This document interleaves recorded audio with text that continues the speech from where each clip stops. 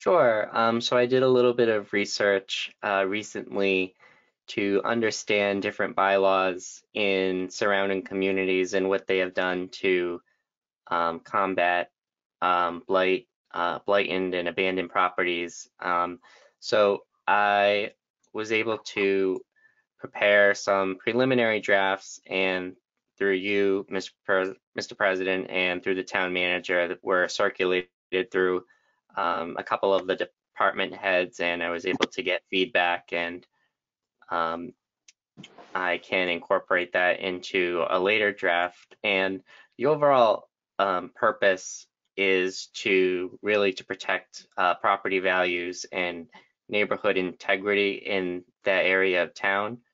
Um, as we all know, uh, vacant properties are at an increased risk for fire, water, and natural damage, as well as um, unlawful entry and other safety hazards. And the bylaw that I've been working on with the helpful feedback of some of the department heads would help to mitigate that and um, give the um, building commissioner more uh, and the town manager more enforcement so that we can um, become a more look like a more attractive community um, for these buildings. Thanks, Mr. Scanlon. So what uh, Mr. Scanlon and I had talked about when he first brought this to me was as he outlined, you know, getting some further initial input um, and you know really getting the collaboration with the town manager going.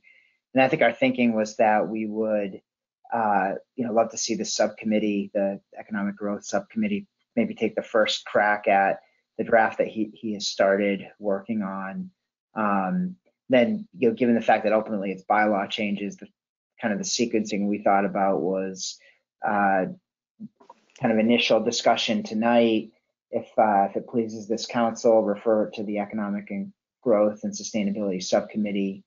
Uh, that committee would then uh, bring it back to us in a in a revised, modified uh, form. Then probably a short stop with bylaws just to make sure that it's uh, appropriate, and, and then to to the committee to vote. Um, so I, what I'll do is uh, ultimately I'm, I'm, hoping to get a motion to send this to the new subcommittee. Um, it's a roll call vote. Um, I'm going to finish with Ms. Boyce because I'm not sure we're going to get that. Mr. Simmons. Yes. Yes. Mr. Gregory. Yes. Gregory's a yes. Mr. Lennox. Yes. Mr. Lennox, a yes. Ms. Cathcart. Yes. Ms. Cathcart's a yes. Mr. Pare. Yes. Mr. Parr is a yes. Ms. Prescott. Yes. Ms. Prescott's a yes. Mr. Scanlon. Yes. Mr. Scanlon's a yes. Ms. Boyce. She's a yes. Can I take a visual yes like that? I'm gonna That's a go. sign language, yes. Yes, that's sign Sign. language. She has signed yes. So Ms. Boyce is a yes. I Keith LaPointe am a yes. That's a nine zero uh, referral to the newly created Economic Growth and Sustainability Subcommittee.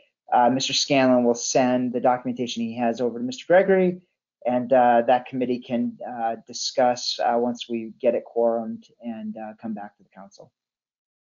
Good, thank you. Sorry for the clunkiness there.